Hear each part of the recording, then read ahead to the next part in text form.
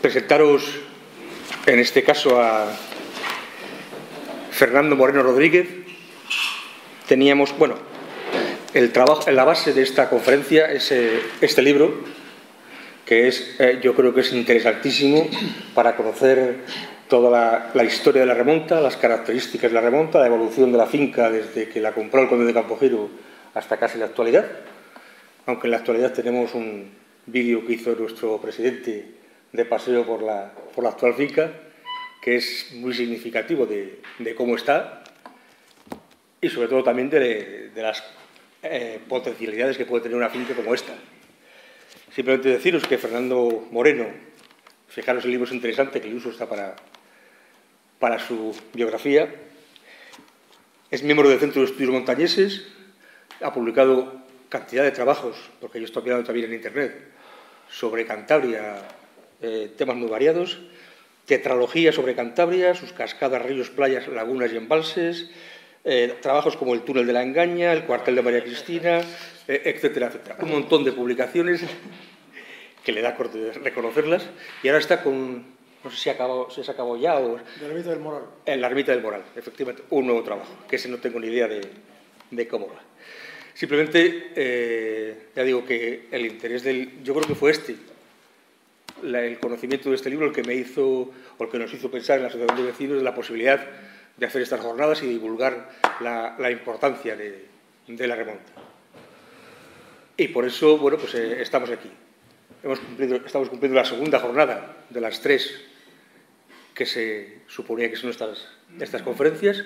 La última será el viernes que viene con Marisa, que está atrás, que le agradecemos su presencia ahora, ayer, o sea, la anterior, ahora y en la siguiente. Y nada, simplemente dejaros eh, directamente con lo que es interesante, que es la conferencia de, Fernando. Así que, adelante, Fernando.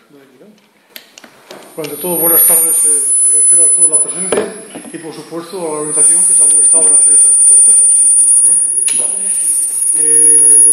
en el libro este, lo que he intentado, lo he conseguido es dar un poco resumen de todo, de lo que es su trayectoria desde que era finca de, finca de Campo Giro, el conde de Campo Giro, y después el traspaso de cuando Pombo hizo que una finca una, una ganadería, que taló todos los árboles, y más tarde, cuando ya pasó al ejército, era el veintitantos, sí, veintitantos por ahí. Bien, hay una cosa que me gusta, que sí me, me llamó la atención, a ver, os lo voy a pasar, porque es que eh, pongo aquí unos mapas antiguos, es el que está abajo, Ahí se ve una entrada que había de la antigua, la antigua vía de agua que entraba de la bahía hasta la, la finca, cuando entonces no había, no había ningún tipo de laguna. Pero en 1845, el Liceo Madoz sí cita que había una laguna de agua salada y otra de agua dulce con una, una, la estatua de Neptuno en el centro. Aquí vemos otra vez arriba, la de la, 1, ahí ya se ve el entorno de Redondo, pero se ve luego la salida en el 2, la salida de que todo eso todo era agua. Y la de abajo es una fotografía antigua que atrás está la chimenea de una fábrica que alguien me dijo que correspondía a no sé qué fábrica, no me acuerdo que algo de algo. Igual de por gente de por aquí sabe qué tipo de fábrica fue aquella. No sé si me dijeron de betún o algo, no sé, la verdad que no lo sé. Pero bueno, son, son panorámicas retrospectivas que dan una idea del cambio o la evolución que ha tenido toda esta zona. ¿no? Vamos a ver más. Eh, bueno, digo que esta, finca ha sido ocupada siempre, incluso en, épocas bélicas, como la guerra carlista, que la ocuparon también, y después aquí se ve la Peña Peña Castillo al fondo, las tropas italianas del 37. Y bueno, esto es una. Eh, de verdad que yo he seguido el proceso del deterioro salvaje de esta finca, del interior del edificio. Aquí he puesto algunas cosas, porque claro, el libro viene mucho más, ¿eh? si no lo haría interminable. Pero vamos, que da una idea de la, calidad que tenía constructiva este conde de Campo Giro para hacer su residencia, que la han dejado maltratar miserablemente. Este era, el retablo, porque cuando esta, capilla se desacralizó, la tapiaron con, la taparon con, epa, con chapas de, de escayola. Luego, pues toda esta gente que ha entrado por aquí lo ha ido descubriendo. Aquí he puesto dos molduras que había, que todo eso ha desaparecido, se lo han llevado pero es un desastre, una pena. Es una fotografía de, lo que era antes, con las palmeras, se ven las palmeras que tenía el patio tan bonitas, que todo eso desapareció porque después el ejército aquí hizo un picadero, luego lo veremos, no sé si está, si está aquí. Mm. Es que, claro, yo, hago una cosa muy sucinta, ¿no? Esta fotografía está tomada desde arriba, de la linterna del edificio de Campo Giro. Ahora no sé si se podrá subir, que es cuando dice esto hace ya pues como siete años. Y como había una escalera preciosa con unos barrotes de pino de roble americano, pino rojo americano, que eran preciosos aquellos barrotes, lo han machacado todo, lo han desaparecido todo. Es, increíble cómo han dejado esto machacarse. Bueno, eh, aquí llevamos el picadero, a la derecha, arriba, ya no están aquellos arboledas que había, ya está aquí el ejército, pues ya ha cambiado la instalación para sus necesidades, lógicamente, ¿no? No sé si los textos lo podéis leer. ¿eh? Puede. Por lo siento. Estos ya son escenas de lo que eran las antiguas instalaciones militares de fotografías tomadas a mediados del siglo XX, sobre cincuenta y tantos. ¿eh? Estos son los, comedores y los, dormitorios. Aquí también, pues estos son más, escenas de, de instalaciones de los, los llamaban estos, ¿cómo se llamaban? Jope, eh, eh, no, non recordo como se chamaba que, es, que está aquí, la, la de ahí abajo precisamente, esa instalación donde estaban los, digamos, los domadores, algo así. ¿eh? No domadores, tienen una, ellos tenían un apelativo concreto, los militares, para esa de, denominación, para esa profesión. Aquí se ve la, la, la, capilla, al fondo no se divisa lo que era el, el retablo y todo lo bonito que estaba, ¿no? Y bueno, difer diferentes este es el picadero exterior y este es el interior, la entrada al interior y toda toda la parte exterior más, más tomas de, la parte exterior ya, con las cuadras, todo esto está destrozado. Hay una habitación, que no sé si está todavía, que tenía el, el suelo hecho de baldosas de mármol, baldosas de mármol, o no mármol completo, baldosas, de 20 por 20, por ejemplo. Una preciosidad. En fin, más panorámicas de, de esa época. ¿eh? Luego pondré otras más actuales. Porque es que encontré, había un señor aquí que luego se jubiló, que se jubiló de comandante y estaba en Ibio. Entonces este hombre son de esas personas que tienen curiosidad por conservar cosas, que siempre aparecen. Y este tenía un patrimonio tremendo de fotografías e imágenes que de él son estas, estas que voy a poner ahora. Esto ya creo que no existe, ¿no? No existirá esta, esta piedra actualmente. Igual sí. Sí, ¿no? Y aquí ya son ya fotografías ya de 1980 aproximadamente. ¿eh? Ya no estaban los militares, pero vamos, todavía estaba en cierta, tenía cierta vida el edificio, ¿no? el entorno, no estaba tan destrozado. Ya vemos aquí que todavía, todo esto estaba hecho un desastre, vamos, de maleza, de, de, de pena. Porque no sé, en el 2010 hubo un acuerdo entre el ayuntamiento, un supuesto acuerdo entre el ayuntamiento y el ejército, para llevar un proyecto a hacer esto y ahí se ha quedado. Ni uno ni otro. Bueno, esto, por ejemplo, la de arriba, que está abajo está es mármol y está el emblema de la unidad militar. También, todo hecho un desastre. Abajo es el laboratorio, lo que son las cuadras, las cuadras donde estaban todo, todo el viaje de los caballos, y las bridas, las sillas de montar, Aquí también más todo, el picadero interior y las cuadras, y luego esto lo, pasaban a los caballos cuando estaban estado por el campo para que se lavasen las, las patas, para que no tuviesen alguna contaminación o alguna enfermedad. ¿eh? siempre daban un lavado. Aquí he puesto a Neredo, porque Neredo fue un hombre muy recordado en, todo Santander y que además fue un, visitador habituado de la, de la remonta. Es una pena que no se vean los textos, hombre. Bueno. Y estos son ya signos del regimiento. La cruz de Santiago y esta otra cruz. Estos están en el techo, o estaban, no sé si seguirán estando, no lo sé. Estos son dos, dos eh, sementales que hubo muy, muy valorados ahí. Y este es el despacho del, coronel, del, del comandante, o sea, del jefe de la unidad. Un despacho impresionante, ¿eh? Vamos, no, no he quedado primero, ¿no? Ahí está yo. Digo, todas estas fotografías, estas eh, fotos son mm, gracias a la gentileza del teniente coronel Fernando, Fernando Merino, un tocayo, que ahora está jubilado, le he invitado, pero está en Extremadura. Estas son todas las carrozas que había aquí, que ahora mismo están todas en Ibio. Y que es una preciosidad verlas, porque es unos, unos carrojes casi casi artesanales, y no sé si estará el acceso público a ellos ahí en Ibio, no lo sé. Yo pude entrar con él, pero vamos, igual lo tengo. Bueno, me pasó una anécdota que fui a está allí, luego lo veremos, la, antigua estatua de Neptuno, está allí recorrada en un fazal, mucha risa, llena de musgo y una porquería. Pues entré a fotografiarla y, eh, eh, como decir, lo que es el terreno militar es a partir de esa esquina de la mesa y esto es público. Pero mm, tenía que pasar un poquitín esto para hacer la fotografía bien y salió un soldado. Oye, que no, no puede pasar que eso es militar. Te digo, si más que voy a pasar aquí. No, es que no puede pasar. Vengo de parte del teniente coronel Marino. Ah, pase, pase. Se acabó. Hizo la fotografía. Bueno, cosas que pasan. Entonces ya digo, si fuera y tuviera esto acceso público, sería una procesidad, porque son muchas, ¿eh? Hay como, ahora las ponen todas. Son unas, unos carrojes, incluso los bujes tienen la fecha y el, número del fabricante, aquí en el buje de las ruedas. Fíjate, son unos carrojes preciosos. ¿eh? He sacado todas, ¿eh? aquí están todas las que hay que estaban, ya digo, aquí en, en la remonta. De todo, de todo tipo. Que esto debe, debe, ser público, me caché, porque que es un, es un patrimonio para todos. Debería, ¿no? Pero bueno.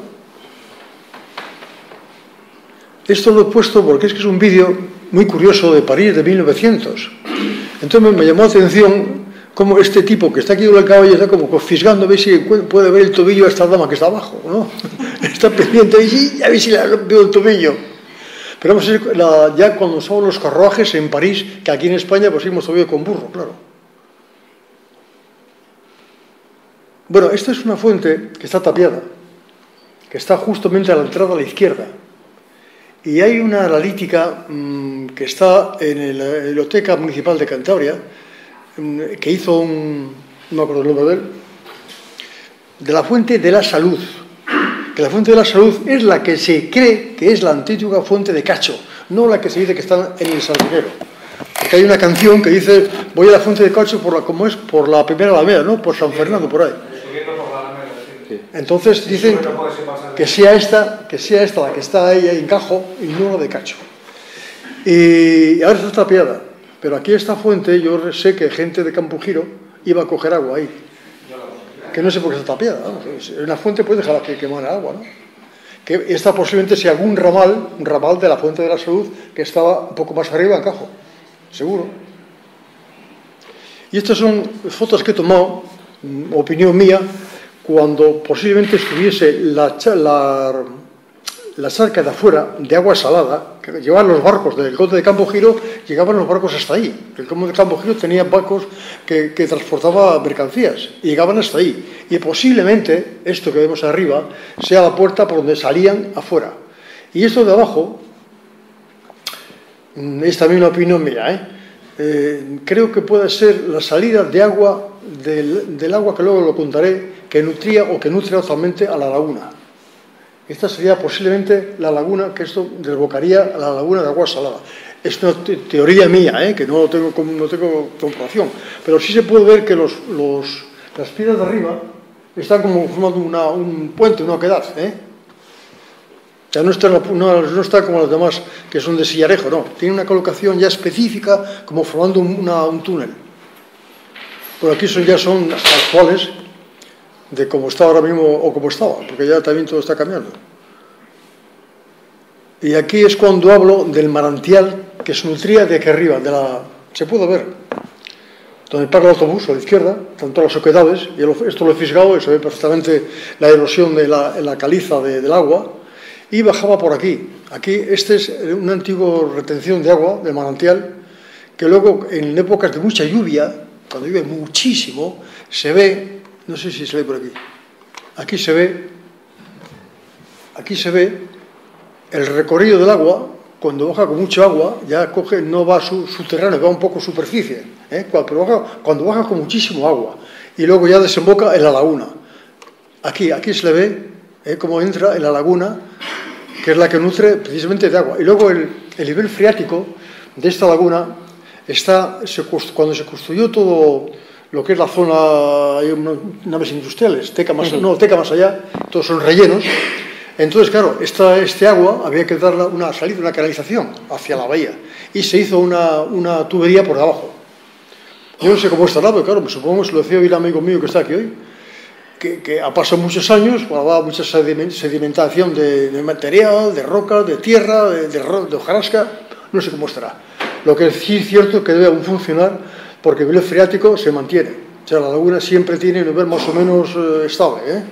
Se desborda un poco cuando llueve mucho, pero suele estar bastante, bastante bien. O sea, que creo que funciona todavía ese desagüe que hicieron. Entonces, bueno, esta dichosa eh, foto, estatua de Neptuno, que luego veremos una fotografía. La que de abajo es la que está actualmente en Ibio, ahí en aquel rincón que pude cazar la es bajo de militar. Y esta es la que estaba en un, al principio, hace ya mucho tiempo, más atrás, en, aquí en la remonta. Un poco, estaba un poco mejor. Y de esta, Carmen Gonzalo de Chacaray, lo pongo en el libro, sí hace referencia, en una declaración suya, de que hay una, estatua dentro de, una chaca, de una piscina natural. Aquí la vemos, aquí se, puede ver, la fotografía es muy mala, pero aquí parece como que hay algo, como una, estatua, ¿eh? en el centro, se puede ver, ¿no? Si lo veis. ¿Eh? O sea, algo hay, no sé lo que, porque no se puede identificar, pero aquí sí da la impresión como que pudiera ser la estatua esta famosa de Neptuno que estuviese aquí. ¿eh? Estos son agujeros que me llamó siempre la atención, y ya me dijo el coronel Barroso, que está, vive ahora aquí, en, que fue el último comandante que hubo, el, el último teniente coronel, que hubo una remonta que esto usaban para poner los techumbres de las burreras, ahí tenían las burreras, las burras, y una techumbre donde ponían los, los pilares para apretar. ¿eh? Me, aclaró el misterio. Bueno, esta es otra laguna que se forma cuando hay mucha, mucha lluvia, no traga el desagüe, el desagüe que va subterráneo, no lo traga entero y se remonta aquí, es según se está, según se baja a la derecha, una curva que hace, se remonta esto que todo esto es caliza. Estas rocas quedan tapadas con esta, esta acumulación de agua cuando hay muchísima lluvia, ¿eh? porque, repito, se conoce que la, el desagüe subterráneo no pudo con ello ¿eh? y se desborda. Bueno, aquí he puesto un poco de flora. Ah, bueno, este, un poco de flora. Y después este bichín, este cangrejo americano, que me salió el tío, tú de aquí no pasas, ¿eh? Tú lo que pasa, un bicharaco, una pinta desafiante, jope. Claro, esto es cuando llueve mucho, al parecer, va a salir a comer caracoles. Posiblemente, pues, algún militar metido aquí estos cangrejos americanos, porque son autónomos, y bueno, pues se han, se han progresado ahí, y ahí se han asentado. Y estos ya lo hicieron los de Bar Life para crear nidos para, para insectos, para avispas, mm, sí, más que nada avispas y otros tipos de insectos, para que hicieran estos tipos agujeritos. Esto lo vemos en la entrada, ¿eh? Lo digo porque a lo mejor no sé por qué es, pues es para eso. Bueno, y esto es un proyecto, es curioso, ¿eh? Cuando hice este libro cogí, encarté un, un YouTube, un vídeo de un proyecto de hacer un jardín botánico aquí. Eh, pude captar algunas tengo más fotografías de, de, este que esto, pero ahora mismo el enlace no lo cojo, está desaparecido, como si hubiesen quitado el enlace. No quieren que se, que se vea ese proyecto que hubo para hacer un jardín botánico. Y en el libro pongo más fotografías, aquí no. Aquí pongo estas, esto sería el proyecto, dos del proyecto, ¿eh? Con el estanque este, como es debido, y bueno, pues eh, esto no sé qué sería. Eh, la verdad que las fotografías que pongo aquí en el libro tenía que ser un proyecto muy, muy, muy laborioso, muy ambicioso y muy bonito para poder disfrutar los ciudadanos de Santander. Bueno, aquí pongo dos. Mira, son dos tomas, dos de las tomas que, del vídeo. Y como veis, que creo que era, tenía aquí una, como una cúpula en el techo en la cual se proyectaba luz y alumbraba este, este otra laguna aquí. Una cosa realmente que hubiese, hubiese llevado afecto, hubiera sido muy bonito y muy aprovechado, porque además era también para dar conferencias, ¿eh? o sea, no solamente un jardín botánico, sino que se iba, iba a habilitar un salón para dar conferencias, para tener también servicios de cafetería y demás, y posiblemente también alguna vivienda, porque aquí en esta otra, no sé, no sé si, seguramente caerían también alguna vivienda. Pero ya digo, es curioso que ese vídeo, ese enlace ha desaparecido, no hay forma. Otra, esta es otra, una galería de exposiciones, y bueno, creo que, que se acabó. Bueno, esta es otra verja. Esta, esta, esta verja estaba de forja, estaba abajo en la parte eh, que da al sur. La carretera actualmente, la, Sigue, la sigue, 623, parece que es, ¿no? Esa sigue, sigue. Ha desaparecido. Sé que me han dicho que está en casa de algún militar, pero no me han dicho que, que hay casa de qué militar. Pero han, pu- han quitado esta, esta preciosidad de, de- de verja, ¿eh?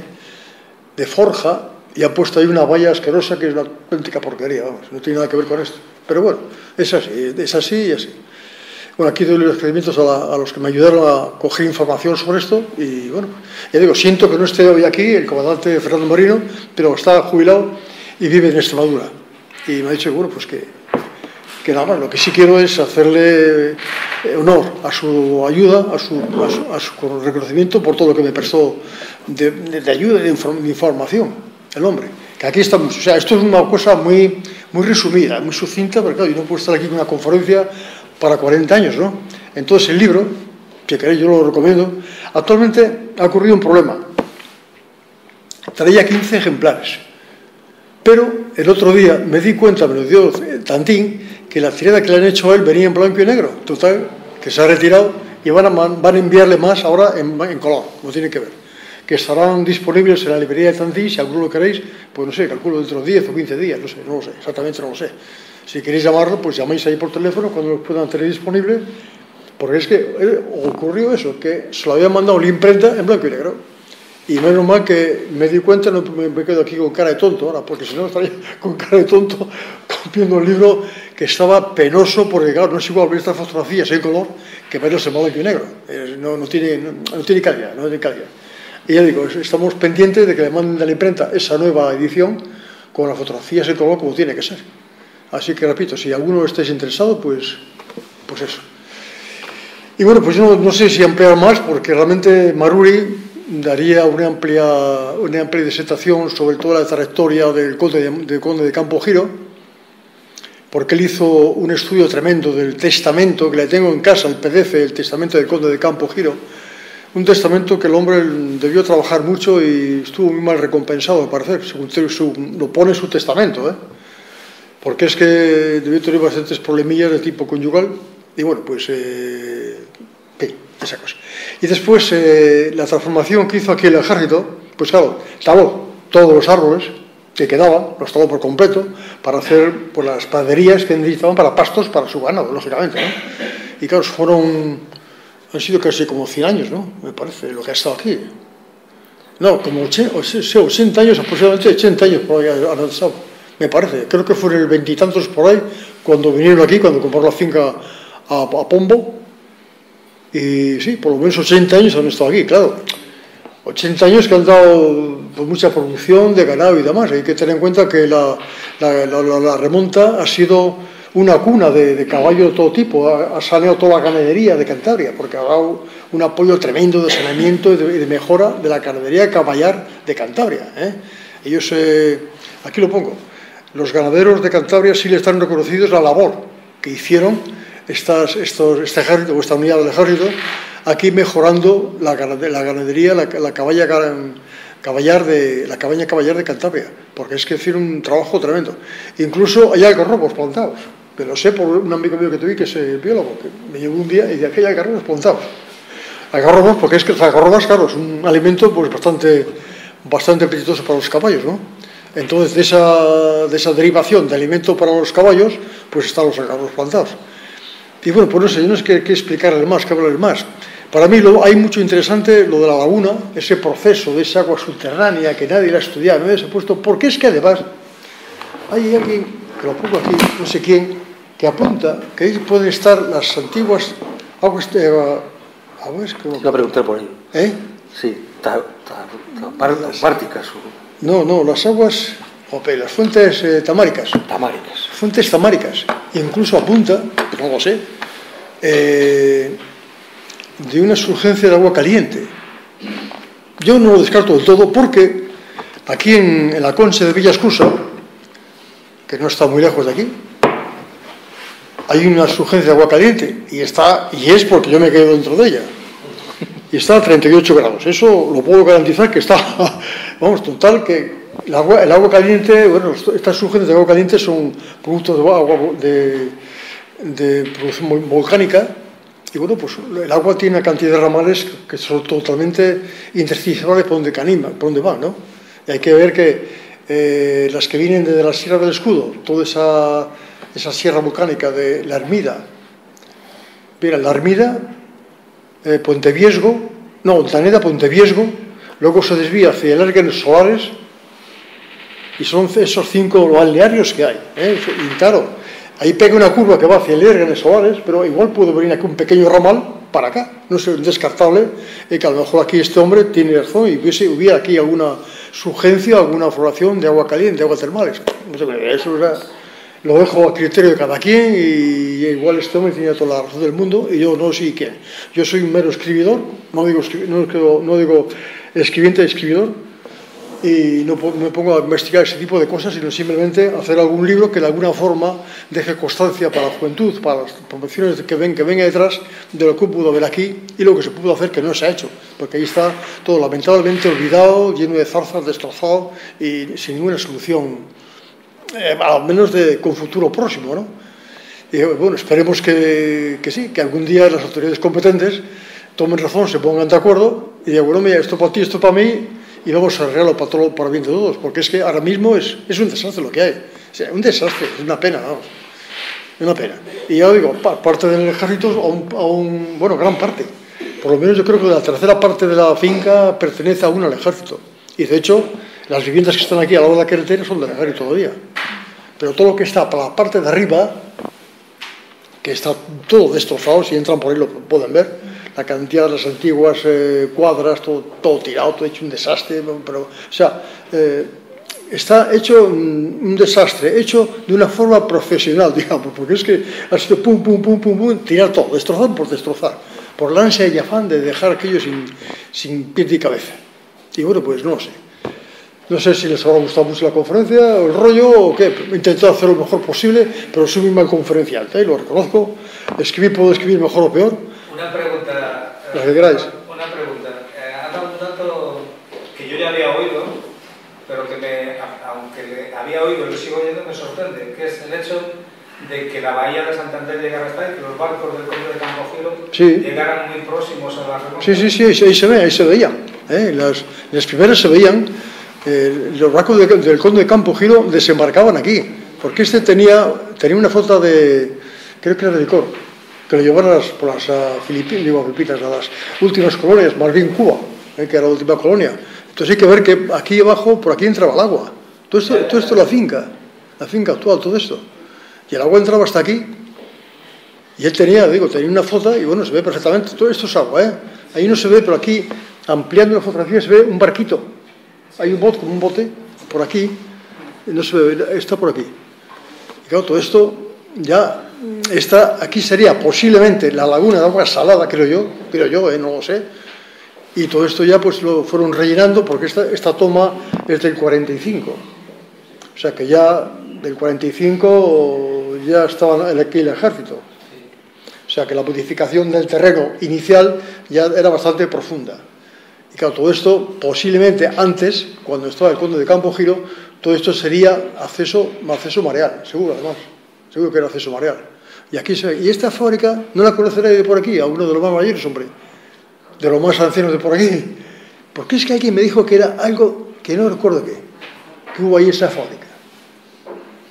Bueno, no sé. Y aquí se ve.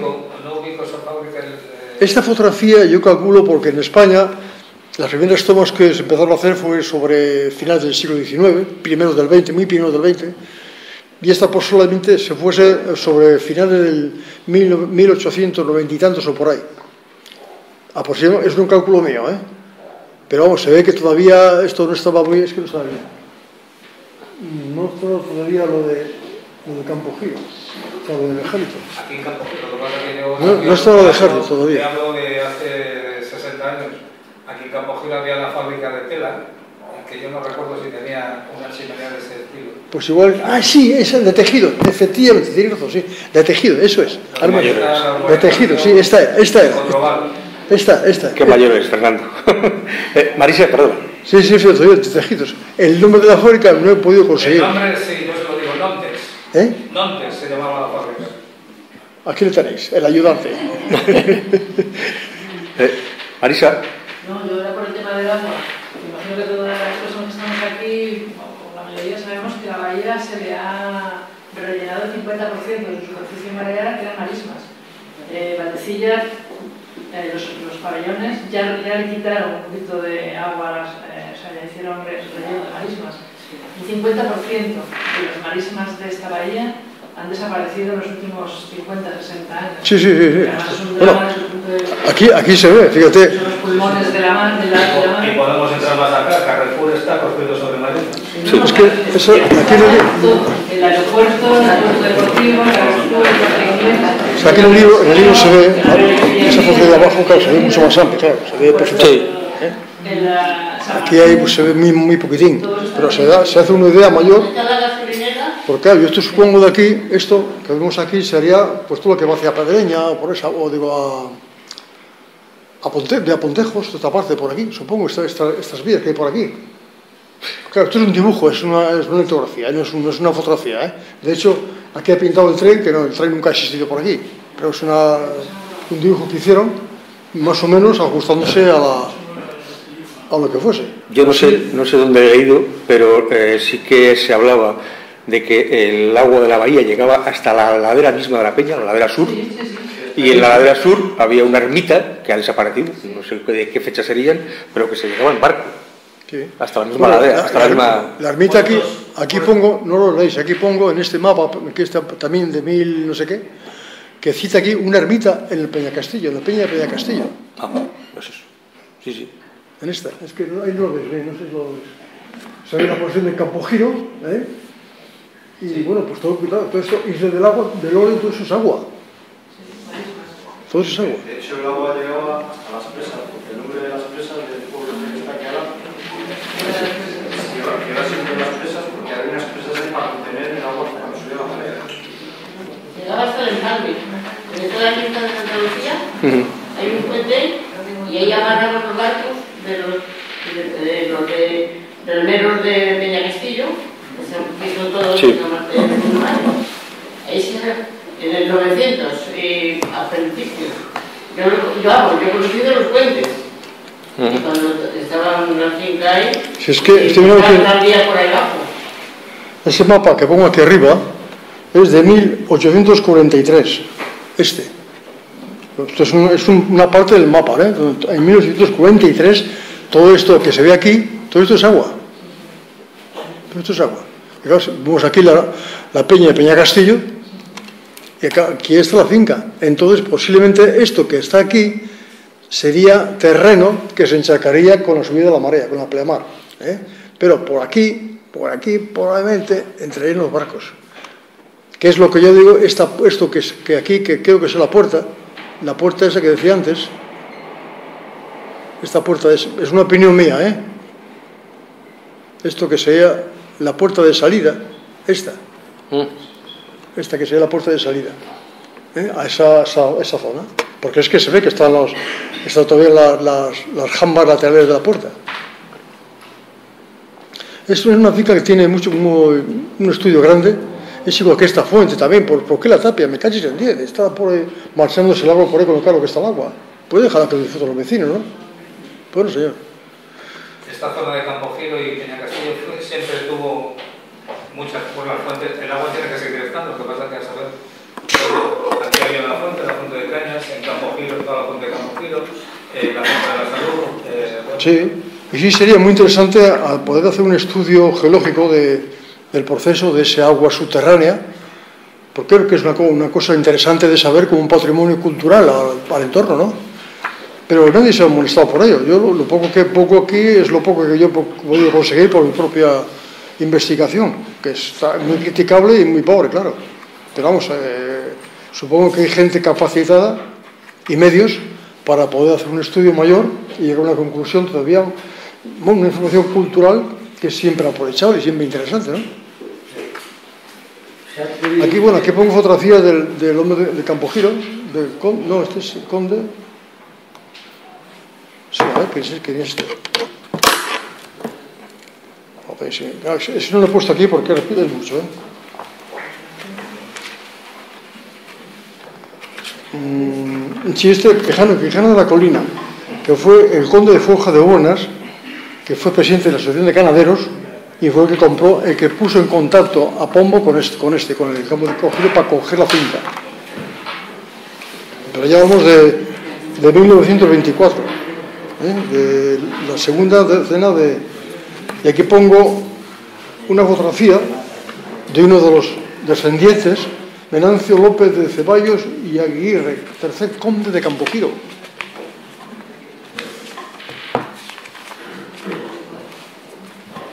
El caso de los condes, porque cuando la guerra de Cuba, el conde de Campogiro, supongo que María lo ha dicho, lo ha informado, el conde de Campogiro prestó sus barcos para transportar tropas a Cuba.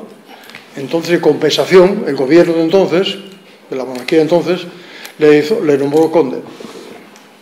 Eso fue la... Y luego este hombre tuvo mucha trayectoria comercial ya en Santander. Santander tuvo, bastante, tuvo freca de licores y una cantidad de, de, de actividades importantes comerciales. Y bueno, pues fue un hombre bastante pujante, bastante con mucha iniciativa comercial en su época. Pero bueno, yo ya eh, me ciño a lo poquitín que he hecho aquí. ¿eh? O sea que si alguno queréis preguntar más cosas y yo sé contestaros, encantado. Que no, pues nada. ¿Se ha atrevido usted a hacer una valoración de la última modificación que la señora alcaldesa logró? A la inauguración fueron tres personas, entre ellas mi esposa y tres personas más. Y cuando estuvo en la, asociación de, nuestra, yo le dije, pero ¿cómo se les ha ocurrido este proyecto que parece una cárcel, que no hay, ban no hay bancos para las personas mayores? Los que hay son de, de mármol, ni para los niños ni para nada. Y me dice, ah, eso es el equipo universitario. Pues vaya equipos universitarios que tenemos pa, para hacer proyectos, porque cuando vino el, tsunami de, de la reforma de transportes, lo había hecho otro equipo universitario. Y yo hice así con las manos y la señora se pensaba que estaba loco yo, porque le había cuestionado que quién había hecho ese proyecto. Porque mi esposa dice que no entra hasta toda la vida, vivimos ahí cerca, y ahora le gustaría entrar y, y por el día aún puedes atreverte, pero por la noche no. En Soria tenemos parques grandes, en Soria están abiertos, pero tienes salidas. De aquí hasta que llegue la reforma ideal, no sabemos de quién, se podría hacer algo, porque esta trayectoria que está haciendo la, la, nuestra asociación de vecinos tiene... No, hay, hay, hay una pasividad, una pasividad de exigir de responsabilidad ¿eh? entre, un, uno, entre unos y otros, porque es que es, es, increíble que esto esté tantos años ya, estamos hablando de 2010, o sea, ya 14 años, cuando hubo un acuerdo que está aquí, tengo aquí la, la, reflejado el acuerdo entre el ayuntamiento y el ejército para llevar a cabo unos proyectos, estos. Nada, ahí está todo. Una pasividad total, total y exigir, y, y exigir de responsabilidades. Pero bueno, oye, el, parque, así. el parque que comentas es una pequeña tirada dentro de la remonta, con una recta eh, sin árboles, sin bancos y sin nada, sin salida, que la gente mayor no puede recorrerlo. ¿Eh? Sí, exactamente, pero que la gente mayor no puede recorrerlo porque no tiene salida por otro lado y tendría que volver andando y tampoco tiene donde sentarse, salvo un par de bancos que haya por ahí. Eso simplemente fue para justificar, en su momento fue Íñigo de la Serna, el anterior alcalde de Santander, era para justificar que hayamos ganado unos 7.000 metros cuadrados de zonas verdes en Santander. Cuando yo le comenté fue, digo, no, no, hemos perdido casi 300.000, porque es el tamaño, digamos, de la remonta y lo que pretendían con la justificación de ese parque era luego poder construir en la, en la remonta por los edificios que entrasen allí, que son muchos. Ese es el, por eso estas propias jornadas, es decir, ahora mismo parece que no hay ningún peligro de construcción.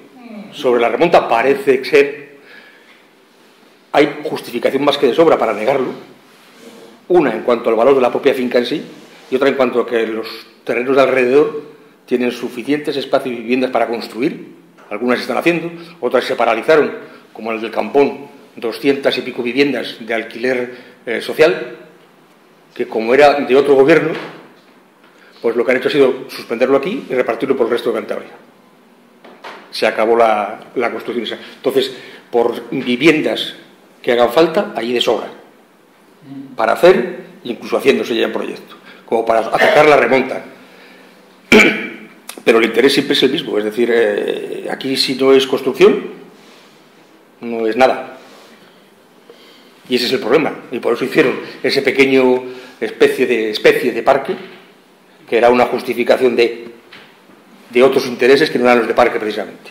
El, el viernes que viene veremos el gran valor ecológico que tiene la remonta, eh, lo veremos el viernes que viene, pero si os fijáis en esa foto que tiene puesta ahí, del proyecto, de, ahí hay eh, dos, fotos de dos proyectos, el, el, el Sí, parque- sí, el de arriba, el de arriba son viviendas. El parque botánico que lo de abajo, que era una auténtica mar- bueno, maravilla, vamos a tomarlo como Sí, esta- esta- con la- la- arriba. la- Eh, y, pero lo de arriba sí que está el parque actual. Lo que, lo que hicieron, por cierto, hicieron y premiaron, que tiene tela, que al, al equipo arquitecto que diseñó ese parque le premiaron, pero bueno, le premiaron. Y está claro que las casi 3.000 viviendas que pretendían construir en la remonta, el parque actual era el parque del, del, del, del gueto que iban a construir ahí. O sea, era un parque no para la ciudadanía, sino era un No, no, parque no, no. era un parque para. ¿se está Sí, claro? sí, sí. Porque el parque está ahí. Lo único que tuvimos la suerte es que no pudieron construir. Sí, por eso la fotografía de abajo, que es esta, esta de arriba, es esta de abajo, esta. O sea, esto, es- esto que vemos aquí es esto, ¿eh? Sí, sí. Y realmente era una, una cosa, un plan muy ambicioso y muy, yo creo que interesante para el bien de la ciudadanía. Pero como aquí lo que interesa es que el, el amigo constructor gane dinero, pues que es lo que pasa. El amigo constructor, el ayuntamiento y el Ministerio de Defensa. Sí, claro. Eran todos a, sacar. Está claro. Y bueno, pues oye, quedo a vuestra disposición. Si sé, puedo responder Una a alguna pregunta, pregunta. ¿qué le- porque también hay cosas que a uno le sorprenden. ¿Qué le lleva a usted a escribir, a investigar sobre, sobre la remonta Pues porque por aquí voy. y escribir un libro sobre primero es porque no hay nada. No hay nada. Yo no sé por qué soy un poco romántico en ese sentido, me pongo a hacer cosas que no, no he hecho de los demás. Bueno. Y luego además que soy con mi perro a pasear por aquí mucho, y sí me llamó la atención esa, esa finca, su trayectoria, ¿eh? su cambio desde que era prácticamente un espacio virgen ¿eh? o, o salino, al conde de Campo Giro, a lo de, a lo de Pomo cuando pues hizo su finca de ganadera, después la trayectoria de militar y ahora lo que es ahora. O sea, son por lo menos cinco, cinco estados diferentes hasta llegar a lo que está ahora, hasta el abandono de ahora, ¿no? Y ya digo, pues no sé, pues me da por hacer cosas que los demás no hacen. Es como decía este actor nonagenario, joder, tan famoso, ¿cómo, cómo se llama ahora mismo? Y digo, bueno, ¿por qué haces estas películas? Y porque no las hace nadie. Entonces, a mí me pasaba algo parecido, ¿no? ¿Por qué escribes estos libros? Porque nadie los escribe. Por ejemplo, el de la ermita del moral, nadie lo escribe. No se sabe nada de la ermita del moral, prácticamente. Y bueno, pues modo por hacer poesía del moral. Y, por muchas cosas más. Bueno, yo sí que puedo decir que, que pude encontrar este libro, que ya digo que es el origen de estas conferencias, y no tengo ninguna comisión. Es más, no hay, libros que, que se han confundido en la imprenta, pero puedo deciros que eh, por el tamaño, por las fotos y por el texto y el contenido es de un interés y de una facilidad de lectura que engancha a cualquiera. Ya os digo que es que eh, te hace eh, sentir algo, una finca como la remonta, que basta que la tengas aquí siempre, como que la des menos, la pongas menos en valor. Pero si, si lees el libro y luego te fijas en la remonta, la sacas mucho más partido a lo que hay, incluso, si vamos a poner ahora el vídeo de, de Fernando, incluso como está ahora mismo, si vemos el vídeo es un desastre, sin embargo también podemos fijarnos no solamente en el desastre que es actual, sino en las posibilidades que aún hoy, inmensas, tiene esa finca. Y no solo para Campogiro, sino para toda la ciudad, por no decir para toda la región. Sobre todo porque, digo, y eso aprovechando para anunciarlo, la conferencia del viernes que viene de, Marisa, sobre el valor eh, geológico, medioambiental, eh, como parque. ¿Eh? ¿Perdón? La salud. Efectivamente. La- lo que viene para la salud, las zonas verdes y, digamos que oxigenadas, que puede tener esa zona, pero conectada con la. que además es una maravilla auténtica. Si conectas como está conectado. Eh, la Peña de Peña Castillo. Parque agreste, salvaje hasta peligroso. Por las Sí. pendientes. Si no te caes, te revientas. Porque es Luego tienes justo, no justo, sé, seguido, seguido, una pequeña cabina, el, el cuartel, y seguido un parque es justo, justo lo contrario. Un parque llano, ameno, agradable, liso, para pasear con la familia y con niños, y que luego incluso puedes conectar con el resto de zonas verdes de Santander. Yo creo que es un elemento importantísimo, ya digo, fundamentalmente para nosotros, que estamos aquí al lado. pero para toda la ciudadanía es un parque importantísimo. No, y este libro le pone en valor, ya lo digo, eh, es bueno, yo se lo dejaba a alguien aquí de la asociación, a Fernando, a Irina, que andan- y, y ha, ha gustado, ¿no? Es, es francamente interesante. Y eso que, como él dice, no se ha matado a hacer un tratado que sería mucho más importante, pero mucho más ilegible. Sí, sí. Pero cuando es una- un tocho muy gordo y muy serio, pues como que aburre las piedras. No, es que, bueno, aquí hay un problema de dinero comercial. y quiero que me contar. Ah, Se va a mezclar la... Ah, bueno, digo, verá, con esta reforma que piensa o el proyecto que hace de la carretera, porque una, una, una reforma justamente ahí, ¿no? La- lo del otro de las nacionales 611 y se- Esa, esa zona tiene que va a coger, creo yo, más pujanza todavía, porque la comunicación va a ser mucho más sencilla que la que hay ahora. Sí, O sí. sea que todo ello eh, pues, eh, pues, potenciaría más todavía el valor ecológico de, esta, de, esta, de este espacio. Pero como no está en nuestra mano, que somos ple- plebeyos en hacer cosas, que son la gente que está arriba en el, en el púlpito, Bueno, pues hay que... la gente que está arriba del púlpito la ponemos nosotros en el púlpito. Ya. Pero es que hay que poner a alguien. Es el tema.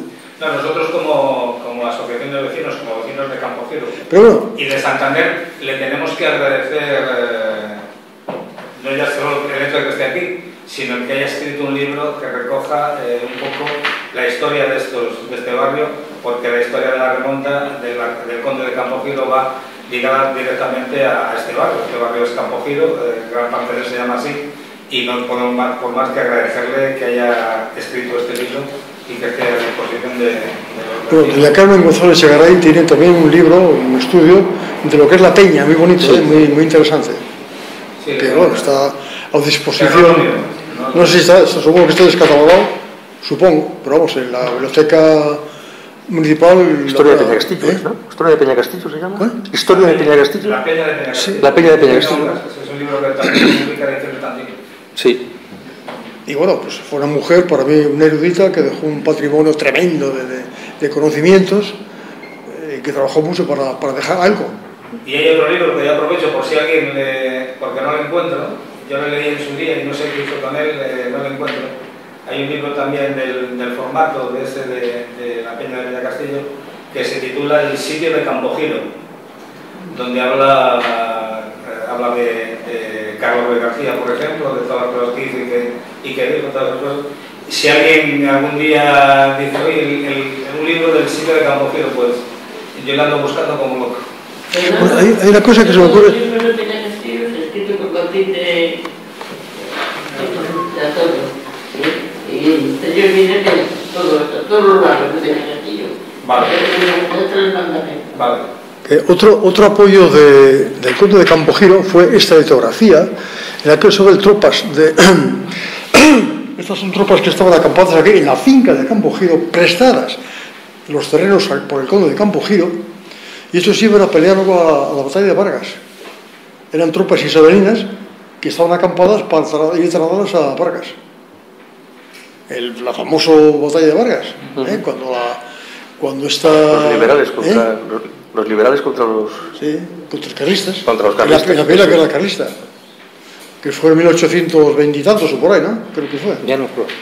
Por ahí. Entonces, esta litografía para mí da uh, el apoyo que siempre tuvo el conde de Campo Giro a la, a la- a la monarquía. Quizá buscando pues, justificar su nombramiento, no, no tengo ni idea. Pero sí que él prestó su terreno para que las tropas acampasen ahí. Yo no ¿Alguna sé si era el conde de Campogiro, una anécdota, bueno, anécdota ahora, pero en su momento eh, era un hombre que comerciaba con América, Sí, sí. tenía la flota de barcos él, Sí, y llevaban manzanas para hacer sidra, botellas para embotellar la sidra, Bueno, pero llegaba al negocio a tal punto, fijaros era el negocio redondo, que eh, cogía, salía- salían barcos que cifraban con tantos miles de botellas, tantas toneladas de manzanas o lo que fuera, no iba nada, iban vacíos. Después les daba por hundidos en la travesía hacia América, cobraba el seguro del barco, barco que no se había hundido, sino que simplemente había cambiado de nombre. Imaginaros el negocio. Unas manzanas que no llevaba, cobraba. Unas botellas que no, no había hecho. Unos barcos que se habían hundido y que estaban enteros, y cobraba todo ello. como para no hacer dinero.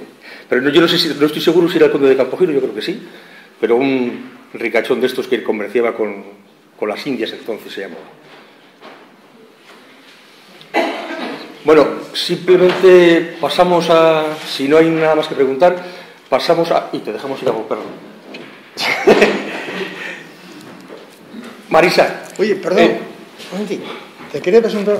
Perdón, ¿eh? Sí, no, no. El viernes que viene recuerdo que a esta misma hora, a las 7, Marisa hablará sobre la importancia para la salud de las zonas verdes, de los parques y en especial de, de la remonta como, como parque nuestro. Le hemos dado permiso a Fernando para que saliese, no a este, al conferente, porque tiene al perruco, le tiene metido en el coche desde que ha llegado aquí. Entonces, para que le, le atienda un poco.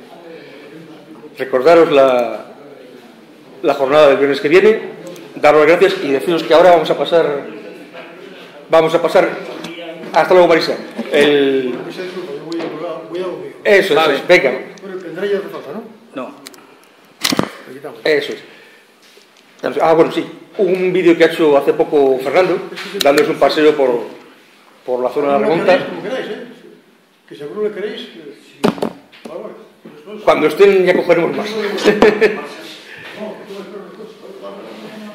¿Eh? Simplemente deciros eso, que ahora vamos a ver un vídeo que ha hecho Fernando, que es, eh, a mí me parece interesante porque es como muy, para lo que saben de, de cinematografía, le ha quedado hasta bien. Pero digo, No, es, un- es una exposición, has cogido ese, tienes este. Antes de, de- de iniciar el vídeo, voy a intentar ir- explicar dónde, por dónde voy, por dónde entro, por, de lo poco que me acuerdo. Yo que en algunas ocasiones estuve en la remonta pues, para pedirle el campo para jugar los partidos cuando jugábamos. Para algún año los Reyes Magos vinieron al barrio a caballo, eh, entonces había que llevar cada, cada dos por tres una capa para que los soldados eh, acostumbraran al caballo a tener la capa por encima del lomo y tal. Bueno, y deciros que desde, desde que esto se cerró, el- las instalaciones militares eh, tuvieron una época que fueron dedicadas a, a- a- a- tener detenidos. La policía te- tuvo ahí detenidos. eh, el, calabozo, o sea, además de la albericia, tenían, tenían, yo no sé si entonces en la albericia existía, pero bueno, ahí han tenido detenidos. Ahí la Policía Nacional ha, ha- hecho prácticas de lucha antiterrorista, han, han dinamitado, han hecho verdaderas eh, barbaridades. Y ahí en la actualidad, pues es, lugar de botellón, de pintadas, de hay ocupas, veréis, hay un momento que yo me retiro rápido porque por, por miedo a encontrarme con alguien y tener un follón, hay una, una puerta tapada con unas melfas, unas telas. Bueno, eh, el vídeo le empiezo, igual al principio es un poco largo porque le empiezo para dejar constancia de que la puerta está abierta, yo no la abro. No hay ningún cartel que indique que es zona militar y que está prohibido el paso. Y bueno, aquí inicio la... Esta es la, esta es la puerta que está así permanentemente, que si mañana vienen ponen el candado otra vez la revientan. Este camino le he subido muchas veces está totalmente, como veis, está totalmente abandonado, pero no más que el resto de la finca, que tiene unas hierbas de igual de dos metros de altura, porque siegan cuando siegan. Vamos a adelantar un poco esto porque tampoco tiene mucho sentido. Bueno, ya estoy llegando arriba. Hago un recorrido, no recorro todo, hay zonas mucho más deterioradas, pero bueno, tampoco me parecía esta construcción está según llegas a la arriba a la, derecha, allá vais que está todo hundido. Y bueno, y a partir de aquí pues fijar cómo está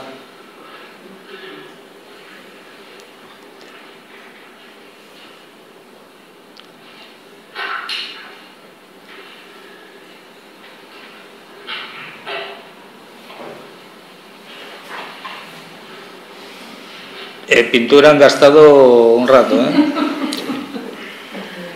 Una chimenea que era una gozada.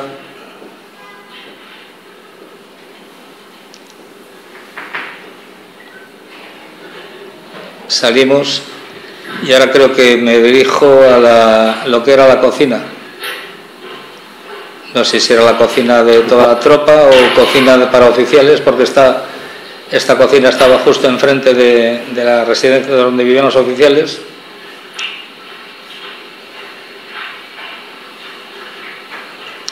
Esa casa, eso que está ahí con la torre es eh, la antigua, es el origen de la casa del conde de Campogiro. Si os fijáis luego en las esquinas hay unas torres, lo construyó con unas torretas medievales. ¿La veis ahí a la derecha? Una torreta medieval.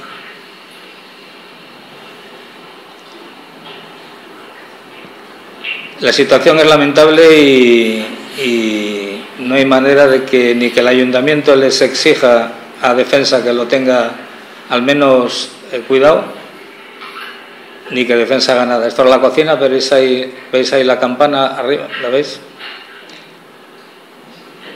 Supongo que eso de ahí sería el, el comedor.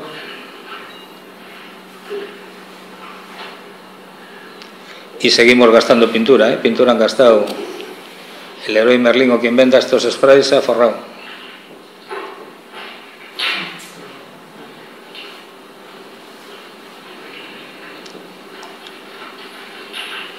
Y ahora voy a entrar en, el edificio del, del, conde, donde vivía el conde. Eh, aquí está el, el, patio con las palmeras, que luego veréis. Esto era la cantina, ahí sigue el mostrador. No sé si cantina de toda la tropa, pero cantina, ahí, eh, alguna vez estuve con, con Aitor, ¿cómo se llamaba el padre de Aitor? No me acuerdo. El, el sargento Riesco, Riesco creo que se apellidaba. Los baños.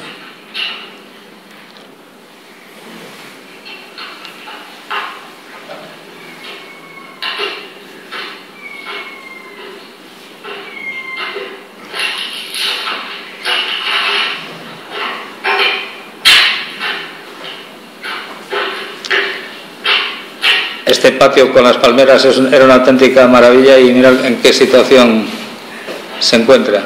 Las palmeras ahí siguen, las pobres. Ahora creo que me equivoqué, iba a salir me equivoqué y volveré para atrás.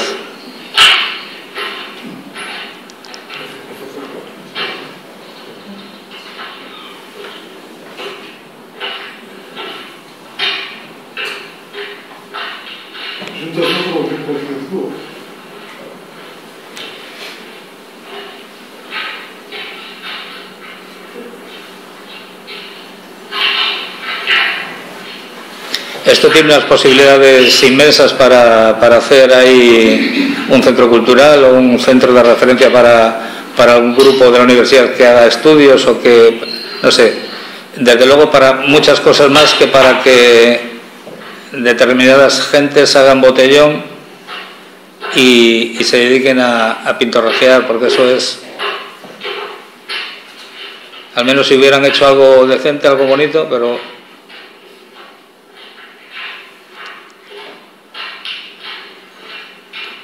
Ahora creo que la próxima vez que, que entre en un, en, un, en un, edificio es donde, bueno, aquí es, me acerqué para, para sacaros eso, queda el letrero ahí de la cocina, ¿eh? que habíamos estado antes.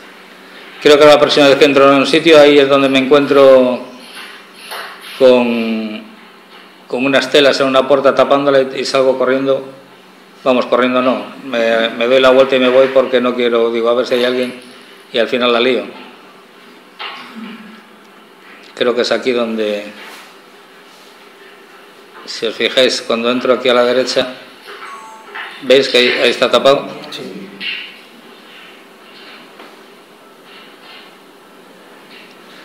Iba a haber retirado la tela, pero digo, bueno, a ver si hay alguien ahí. Digo, me voy, me voy, que voy a ganar más. Me ha sorprendido que la tela es una melfa saharaui, ¿no? yo no sé si ahí habrá viviendo algún saharaui, no tengo constancia.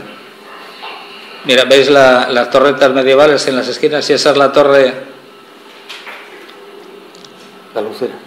la, donde, vamos, eso es de la casa de, ahora veréis las escaleras de las que antes hablaba Fernando, en la situación que se encuentran.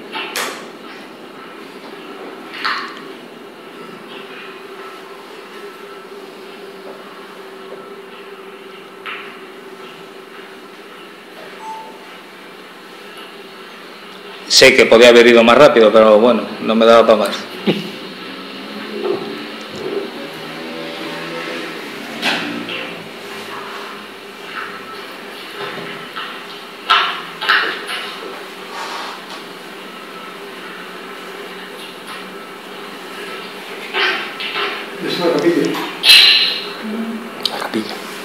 La capilla, sí.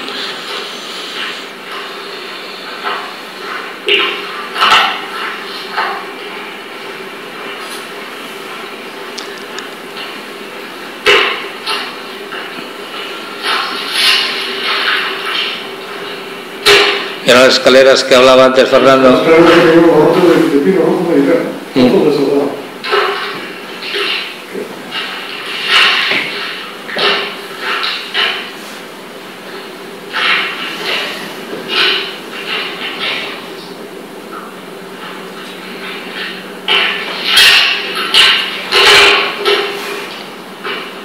Yo no sé qué culpa habrá tenido eh, las prácticas de la Policía Nacional haciendo ahí el lucha antiterrorista, pero ya les vale. Y creo que ahora ya voy a, ya que no queda mucho, creo que ahora voy ya hacia el picadero y, las cuadras y ya, creo que acaba. Hay muchas más construcciones que están aún en peor situación que esto porque hay, hay construcciones que directamente ya no tienen tejado.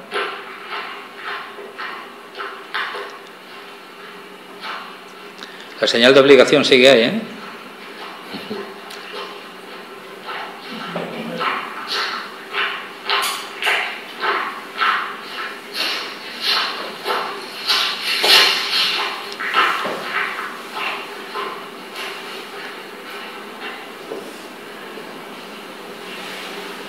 Esto no sé lo que era, si Fernando sabe, pero podía ser la zona de laboratorio o una cosa así, porque está muy próximo a las, a las caballerizas.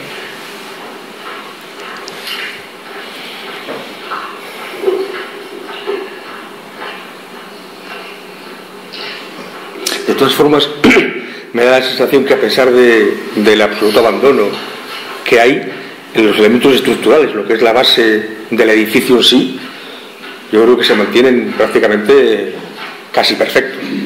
Hablo de la estructura del edificio, no de tabiques, cuadros, ventanas y demás, que está destrozado. Pero me da la sensación de que lo que es la estructura del edificio está del principal, me refiero. ¿eh?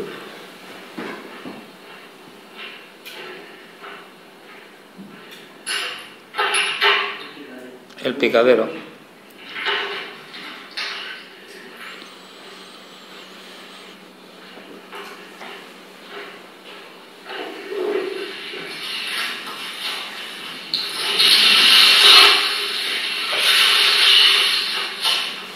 Bueno, ahora ya creo que vamos a las cuadras y, ya.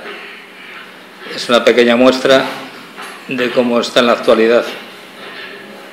Y que yo creo que, y creemos desde la asociación que habría que exigir al Ministerio de Defensa que, que vele por, al menos que no se deteriore más.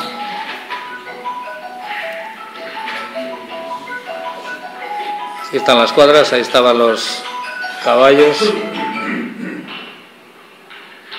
Hay alguna foto en el libro de, de las cuadras un caballo. Ya. Muy bien.